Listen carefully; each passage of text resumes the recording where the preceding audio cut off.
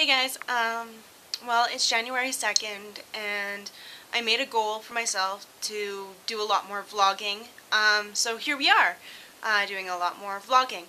And this is going to be a channel, and I guess this is kind of my first entry really, um, where I kind of share more of my what's going on around me, what's going inside of me.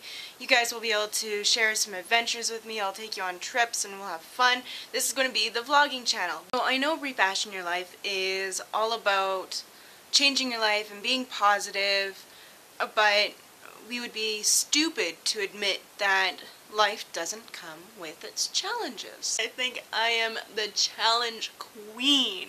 And something that I'm coming up with um, is I'm living at home again and it's been really, really, really challenging. Um, it's been great because it's been it's given me the opportunity to really focus on you guys and be with you guys. Um, but the thing is, is a lot of people don't understand what it is that I'm doing on the internet with you guys and my whole goal and aspirations with it, and it's really hard to explain. But I love it, and it's amazing, and I do have extremely big goals. And there's been some really, really amazing things that have happened this year, too.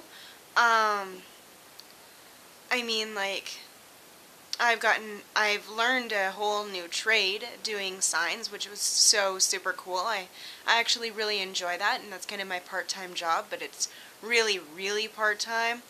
Um, so the whole point of coming home and saving and creating my online empire, um, it's only half happening.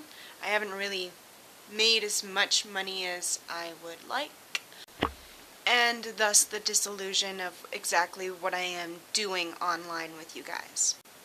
But here's the kicker. Um, I haven't really been getting along well with living with my grandmother. And I love her to death and I love her to pieces and she's my best friend. But our relationship is um, is definitely getting it's getting tarnished with me living here um,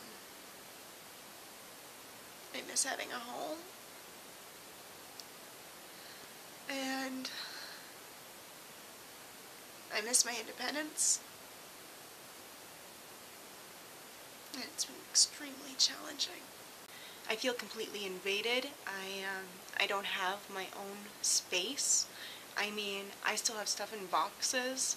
Um, I just I just don't have my own space. Everything's so cluttered and I have a bed and, I, and I'm being fed and I have my clothes. But I, I don't know where any of my costume jewelry is or my costumings and you know like I don't have any of my furniture or I'm just still completely boxed up and I just feel so invaded. I don't have my own space.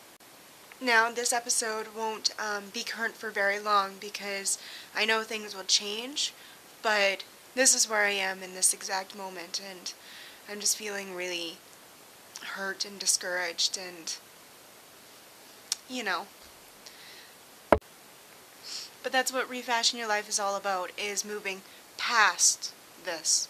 It's just your environment is such a controlling factor of your success and your ability to move forward and your beliefs.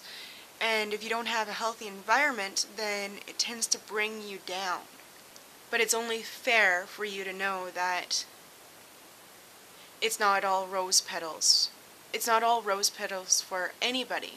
And this should encourage you to keep moving forward with your dreams and aspirations because it is a lot of hard work, it is a lot of commitment, and it's a love and a lust for what you love and what you do. So take this as an encouragement that you have to work for your goals. Period. But as an encouragement for you guys, like I said, this this isn't going to last forever. Um, if you're experiencing the same thing, maybe you're living at home, maybe you're living with someone that's bringing you down, um, really keep pushing through towards your goals because amazing things do happen and I, I would be lying if I said amazing things aren't happening for me because they are. And that's with the growth of Refashion Your Life. It, it has done absolutely amazing things for me. I love you guys so much. You really, truly make me complete. And I love Refashion Your Life and I love what it's done for a lot of you and I love what it's doing for me. So keep on charging and we'll see you in the next vlog. Bye.